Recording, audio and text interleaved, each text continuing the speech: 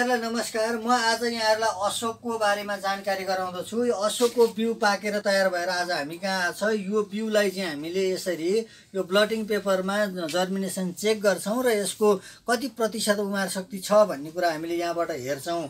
यहाँहरू सबैलाई थाहा छँदैछ यो अशोक भनेको हामी सबैले देखेकै कुरा हो। हामी हेटुँडा नजाने मान्छेहरू कोही छैनौँ।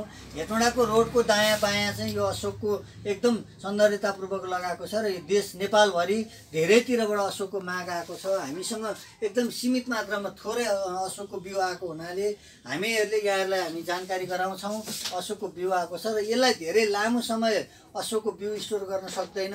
हामीले एकदम छोटो समयमा यसको लाई चाहिँ नर्सरीमा राखिसक्नु पर्ने भएको हुनाले मैले यहाँहरूलाई जानकारी गराएँ।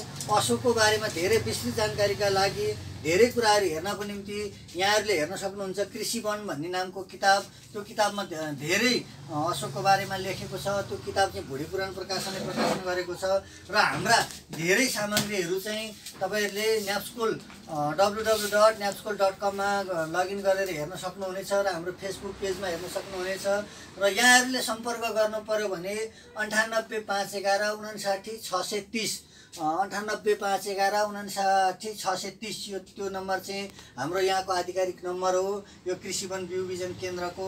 यहाँहरूलाई फेरि पनि स्वागत गर्दै कृषि वन बिउ बिजन केन्द्रको तर्फबाट यहाँहरूलाई धेरै धेरै धन्यवाद दिँदै अशोकको बिउ तयार भएको छ।